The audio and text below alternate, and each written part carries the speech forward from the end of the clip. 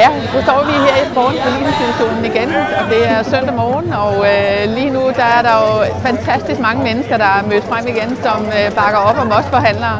Og det er helt utrolig vigtigt for øh, det forløb, vi skal i gang med. Dagen i dag tror jeg bliver lidt afgørende for, øh, hvad der overhovedet kan lykkes. I går måtte øh, man øh, afslutte dagen med de statslige forhandlinger uden resultat, og vi er meget spændt på at se, hvad der så sker med de kommunale arbejdsgivere i dag. Det er helt sikkert, at øh, tiden den er ved at, sådan, at rende lidt ud for os, og at det er meget vigtigt, at øh, der kommer hul igennem i dag. Men øh, der er ikke noget, der sådan umiddelbart ser meget lyst ud. Det ligner faktisk lidt den himmel, der er oppe over os i dag.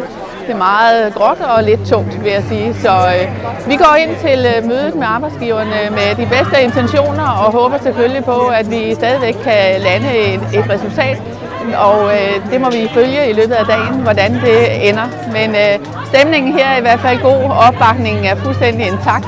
Tusind tak for det.